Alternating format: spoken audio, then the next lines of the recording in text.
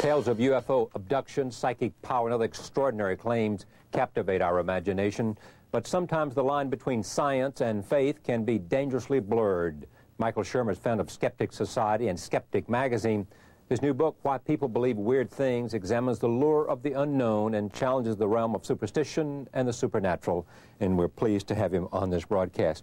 I, uh, here is the book, and here is the magazine, and there is a tribute to Carl Sagan, who was on the board. What, what did he do? He's, uh, what was the relationship with he, Sagan? He's just the sort of intellectual fountainhead of the whole skeptical Right. movement. Uh, so he had critical no, thinker. no official promoter- association. He- Oh, yes, he did. Sure, Yeah. he endorsed the magazine and uh, a friend and colleague Yeah. and, uh, you know, a great loss to the skeptical community because he transmitted uh, what science was all about better than anyone.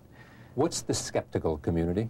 Well, there is one. There is a movement. It's mostly scientists, uh, intellectually curious folks, magazine, scholars. Uh, anybody can join the Skeptic Society. We put on a monthly lecture series at Caltech.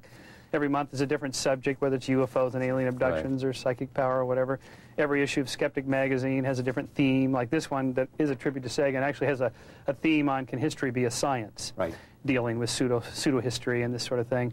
Uh, we did one uh, after this on the environment. To what extent uh, is science politicized? I mean, you have left wing scientists arguing for the data to uh, say that there's a greenhouse effect. You have right wing scientists that say there is no greenhouse effect. What is the public to make Exactly. of when you have experts on both sides who claim they have the data? Clearly, science is a social process. The data don't just speak for themselves. So one of the things we're interested in skeptics, one of the things that my book is about is belief systems and how they dictate perceptions of the world.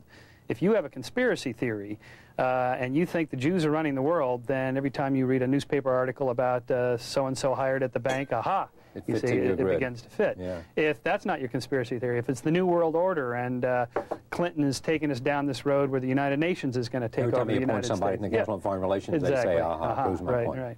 Never mind that the you know the UN can't solve a, the third world skirmish, let alone take over America. But this is minor details to the conspiratorialist who merely has to find the data to fit his theory. How do you determine when it's reasonable to be skeptical and when it's reasonable to be a true believer? That's the rub.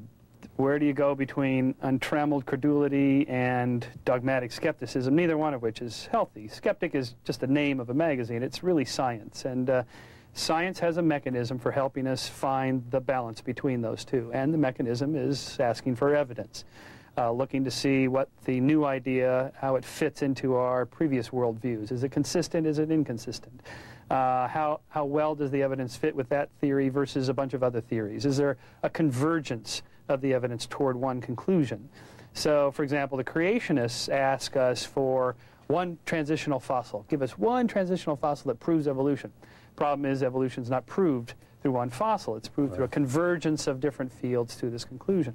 Holocaust deniers, uh, the same thing. You know, show me one testimony from, you know, somebody that says the Holocaust happened. Well, that, that's not how history is constructed. It's like a puzzle that's put together from Well, there are various a lot sources. of testimonies that the Holocaust happened. I don't understand what you mean. Well, what they mean is that uh, prove to me that that uh, the Nazis intended to eradicate European Jewry. Find me a, a, a letter from Hitler in which he says this. Well, there is no letter, single letter in which he says this. You have to piece it together from speeches and documents and memos and letters and so on.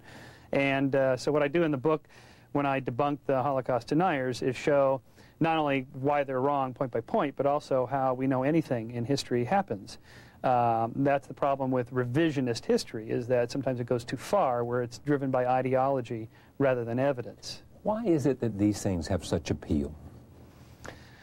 Well, that's the big question. The last chapter of my book is why do people believe weird things? I, I, run through a number of them. Hope springs eternal for the future. For whatever reason, humans have a large enough brain to be able to project ourselves into a different future. The grass is always greener on the other side. Somehow, what we have here is not good enough, and we can have it some better somewhere else. This is the wellspring of cults of all religions, of course. Is a hope for a better tomorrow, a promise for a better future uh, in eternity. And uh, I, I think there's a there's a human need for that. Um, A human need for believing that there's some yeah, something higher, some spiritual, other kind of world other than the physical here and now. Well, all but, but all religions believe that, don't they? absolutely right. So, So therefore, are you skeptical about all religions Uh, because it's not scientifically based? I'm not. Um, I- I'm skeptical in, in this sense that um, i- i- when you ask the question, "Is the Bible true or false?" This is, to me, the, the wrong question to ask. It's not a book of science and history. It's a book of literature. It's a book of morals and moral homilies. It, it's one of the great works of Western literature, which is what drives me nuts when books like the Bible Code come out and they say, look, we can prove through science that this is the one true right uh, code of text dictated by God and so on. Baloney, come on. What, you know, my answer to this is, oh, ye of little faith. Mm. I mean, the purpose of religion is faith, not to be exactly. proven by now, science. Now,